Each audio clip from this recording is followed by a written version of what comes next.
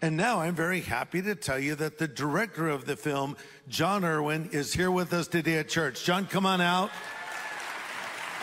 Hey. There he is. Okay. Hey, guys. Jon, we, first of all, I want to thank you on behalf of our church for making this film. Uh, you know, it's been a real gift to all of us because you not only told the story or a part of the story of the Jesus movement, movement, but you told our origin story, how our church came to be, how I came to faith, how Cathe came to faith, and and we're thankful that the world can hear this story and see it. But I think the thing that seems to resonate with people, and I've talked to so many who've asked me about this, are these baptism scenes. Let's talk for a moment just about what happened on that particular day at Pirates Cove. As you recall, it was very cold that time of the year. Wasn't it February when we were shooting? Yeah, I think it was um, into March, but Yeah. one of the things that we were most um, afraid of was the temperature of the water because we couldn't, you know, extend the filming into the summer. And uh, so Jonathan Roumie, who uh, you know obviously plays Jesus in The Chosen, uh, also in the movie, he he was praying for a heat wave over and over again, and and then it. This heat wave hit, It was and a it was heat too hot, and Yeah. it was going to shut the film down. I'm like, Jonathan, you're too close to God. you need to you need to tone it down. Uh, yes. And uh, and and so we, we filmed, and I've never had um, a, a- an experience like that on a set uh, before. It felt very much like uh, it did yesterday. And were a lot of you there yesterday? Yeah. Uh, by the way, I was there. My wife, who's here, uh, uh, Beth, was there with me as well. We, we wouldn't miss it, and uh, and we're just so grateful to to have um, to have been there. And that that same feeling that you felt on the beach yesterday, we felt while filming the movie, and it was just the most magical day of my career. And I remember Jonathan came up out of the water and he's like i'm doing i'm doing it just like greg taught me i'm doing all the baptisms just like he taught me saying the prayer just like he taught me but this is real. Like th- these are these mo- these are not movie extras. People keep coming to me saying i'm, I'm being baptized for real. And he's like i'm a method actor. I'm doing it just right but i just i, I mean i want to make sure because this is Yeah. this is getting serious. And then i think uh, Dave Mann, who I saw yesterday as well, we put him out in the water. He's like, you know how to baptize people, and uh, and he came out and he's like, I, I just think the Spirit of God is here, and if you stop the filming of the movie and we had a service, there would be a huge response. I'm like, we can't do that. The sun's setting, man. Like we got to film a movie. Uh, but but I, I just think you, you feel that in, in the movie, and Yeah. and uh, and it was just a it was the most powerful day by far of my of my filming career. So uh, when Joel Courtney, yes. When Joel Courtney, playing me, is baptized, let's tell them how that scene was shot. So you remember he goes out into the water and, and Lonnie says to him, Are you ready to decide? To decide, I'm not sure. Yes, I am, he says. And then they pray. And after they pray and he goes in the water, he starts sinking.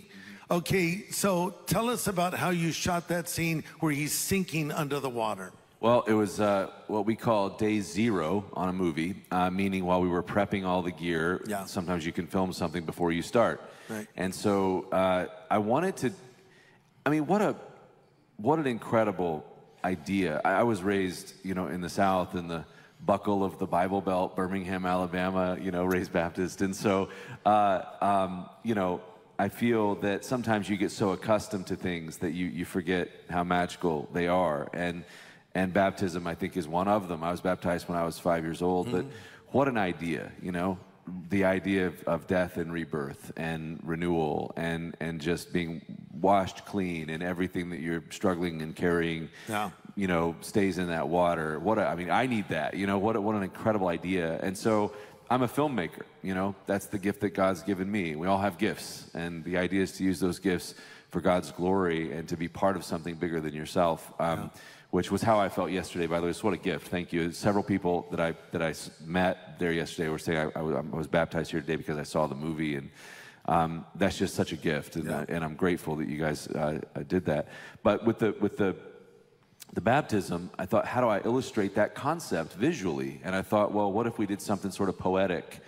And so the idea of him sinking into the water and then swimming back up to the surface, and it was very sort of visual poetry. I didn't quite know if it would work. But also, this was Joel's first day. And so I'm like, welcome to Jesus Revolution. We're going to try to drown you here today.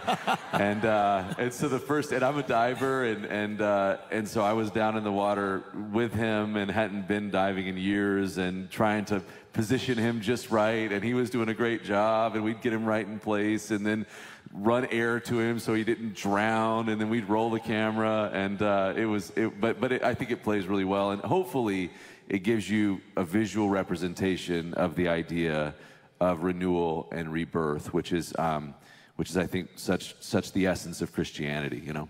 Yeah, it was our hope that there would be a moment in the film where a person could be watching and actually accept Christ. I mean, in a film, it's a work of art you can't just start preaching a sermon to the audience. But in a way, you can in other ways. And I think you, with your creativity, found a way to convey visually what salvation is like by doing that scene of uh, Greg being baptized and going down like he did. And we don't know all these details. We just know what we feel and experience.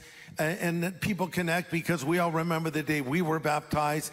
But then so many people seeing that scene said, I want to be baptized. We heard stories when the uh, movie was playing in theaters of people like going out in the middle of the night down to Pirates Cove. It was on a TikTok video and, and baptizing each other. We heard another story about people getting baptized in the fountain outside of the theater. They were really moved by this. I, have never seen anything like this. I, this is not just a movie, Jon. This is a, a, just something that God is using as a powerful tool to touch people because, you know, movies go all around the world. They're our second largest export, as you often say. Yeah. And you do that. Um, so many people ask with Christian movies or faith movies, you know, are, are you preaching to the choir? I'm like, no, no, no. I'm, I'm, the choir is the voice that launches the movie. Mm-hmm. There's this amazing thing called FOMO, or the fear of missing out, and it drives entertainment.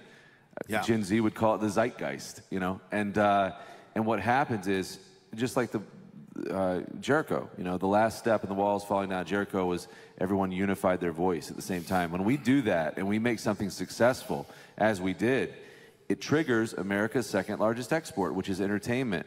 So now the film is going all over the world. We're not paying for the film to be in Brazil. Brazil's paying us, and so is Mexico, and so is Netflix. And and uh, and and you did that when you when you championed the film, and, and our voice was so loudly heard.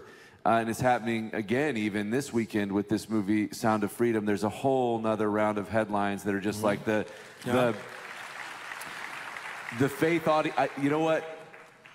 Deadline, the trade publication, Deadline, um, said, I think two days ago, maybe the faith based audience is the missing link to the post pandemic box office, and maybe this is the answer. And so there'll yeah. just be enough, our voice is being heard loudly, yeah. and there's never been a moment in entertainment in my lifetime like this where Christianity is just making a comeback. And, and, uh, and you're doing that.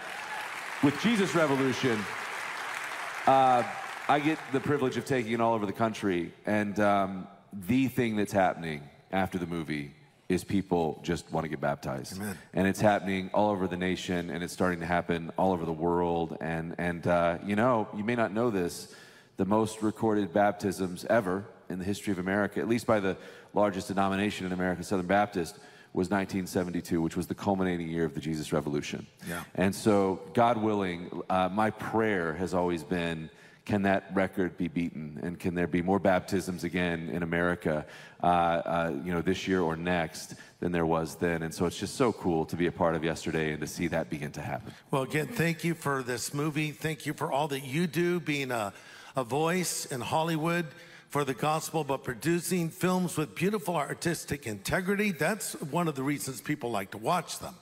And uh, it's a perfect blending of both. So we're thankful for you, Jon, for your brother Andy, for your company, Kingdom Story Company, and all that you're doing. So let's thank Jon again. God bless thank you. Thank you guys. God bless you. Love you guys.